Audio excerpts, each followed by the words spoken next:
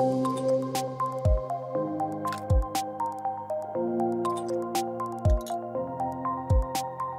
was it blew up in visual range, which is you know hey that's bad, but it's also great. I got to actually see the whole flight.